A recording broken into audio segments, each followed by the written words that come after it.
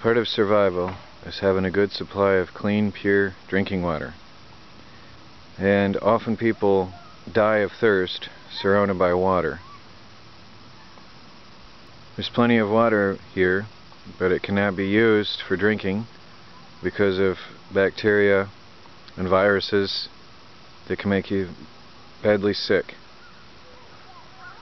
So, what I'm about to show you is how to make a solar water distiller.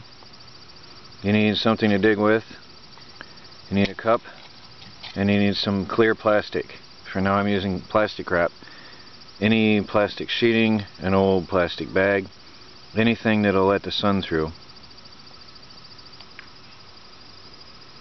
If you can, the best is to dig your hole right next to the water, like I am here. But you can do this in the desert as well.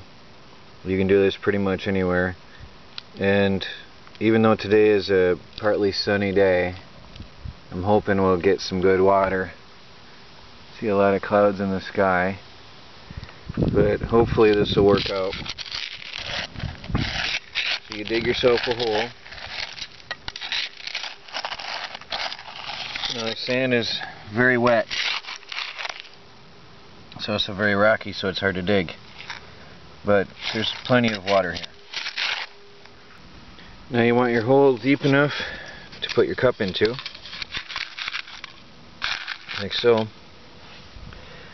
And then you take your plastic wrap which I'll show you in a minute and we'll place the plastic wrap over the top of the hole. Now I have the plastic wrap staked up over the hole with some rocks I have the cup in the middle and there's a little bit of dirt or you can put a stone in the middle to make it dip down.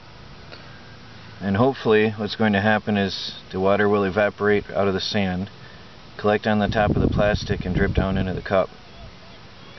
So we'll come back in a few hours and see what happens. Well sadly after I set my water distiller this is what the sky looked like. And this how this is how it's been all day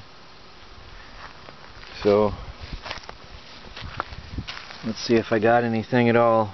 But you can see condensation here has collected even though it's been mostly cloudy. Although it's cloudy it's warm out and the water is running down and dripping in. I have a little bit of water. So let's see what we got